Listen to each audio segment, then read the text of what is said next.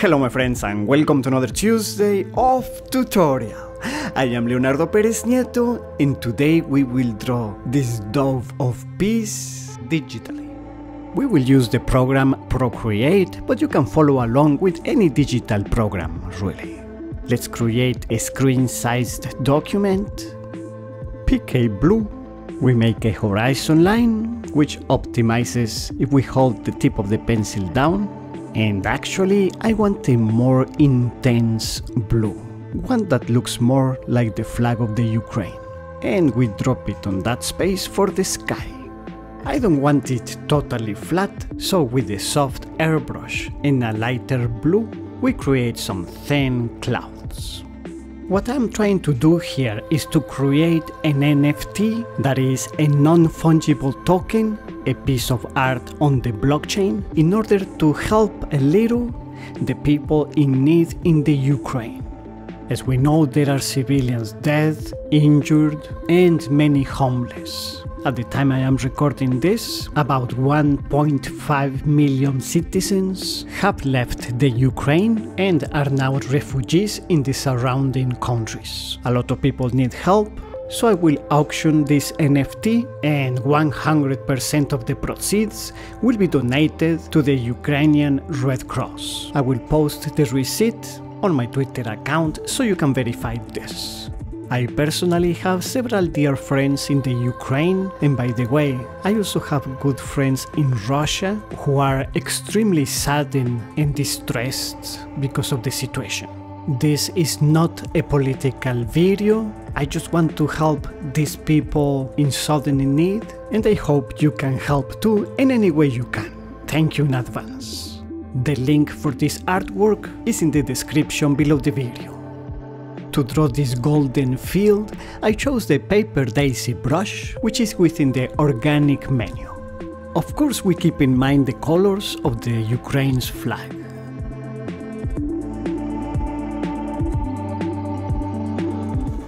and I want to give a texture to the sky with a slightly darker hue. Good. Now to draw the dove, it is easier for me to visualize it over a flat color. So we will use this lighter blue and we can draw with white. I'm using the hard blend brush, which is my favorite for painting in general with this program. We began with the head and body, then the wings, and now the tail. I will color first the areas in shade, and then we will add the lights. I invite you to follow me on Instagram and Twitter at ArtistLeonardo for the most recent images and news.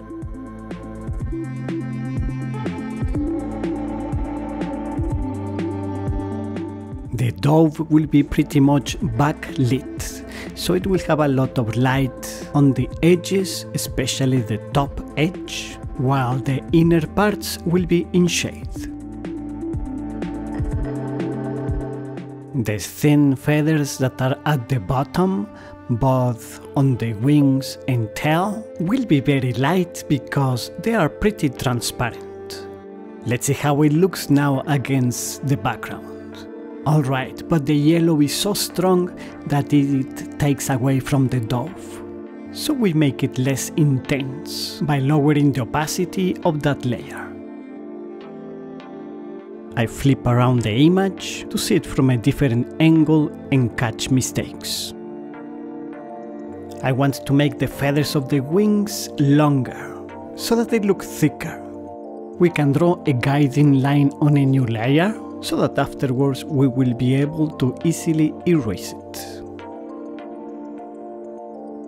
And now we extend the tips of the feathers to it.